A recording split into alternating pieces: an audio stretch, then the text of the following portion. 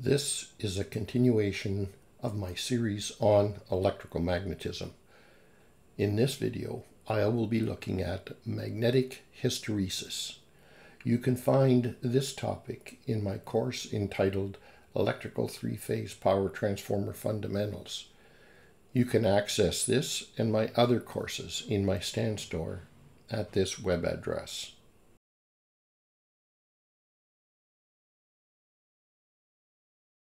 Anker has just released a peek at their most advanced multi-device fast charging lineup. In order to take advantage of a $35 off promo, simply go to this web address and take advantage of this offer.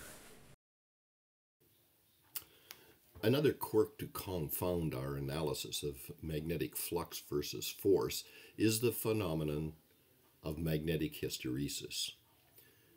As a general term, hysteresis means a lag between the input and the output in a system upon a change of directions. Much the same as what you might have experienced in an old car whose steering is very, very sloppy. And as you steer, you have to oversteer in order to bring it back in the other direction and once going in one direction. In a magnetic system, hysteresis is seen in a, in a ferromagnetic material that tends to stay magnetized after an applied field force has been removed if the force is and if the force is in reverse direction. So let's see how that works. Let's use the same graph again, only extending the axis in the negative direction. First, we'll apply an increasing field force, current through the coils of our electromagnet, we should see the flux density increase, go up and to the right according to the normal magnetization curve. Next, we'll stop the current going through the coil of the uh, electromagnet and see what happens to the flux, leaving the first curve still on the graph. Due to the relativity of the material, we still have a magnetic flux with no applied force, no current through the coil. Our electromagnetic uh, magnetic core is actual actually become a permanent magnet at this point.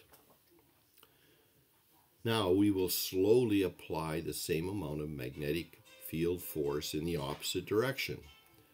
The flux density has now reached a point equivalent to what it was in the full positive value of field intensity, except it's in the negative direction or in the opposite direction.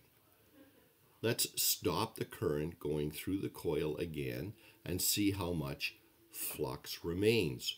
Once again, due to the nature of the retentivity of the material, it will hold a magnetic flux with no power applied to the coil, except this time it's in a direction opposite to that of the last time when we stopped the current. If we reapply power in the positive direction again, we should see the flux density reach its prior peak in the upper right hand corner of the graph again.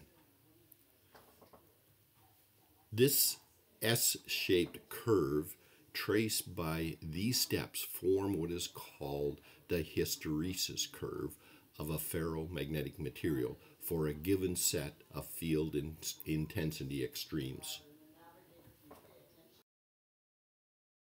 This video is part of my Electrical Technical Information series.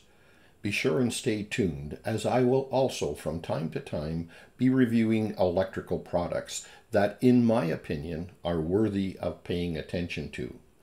This address will give you access to the supplier of aforementioned products and is also the connection to obtain a free copy of my 50 page electrical power crib sheets.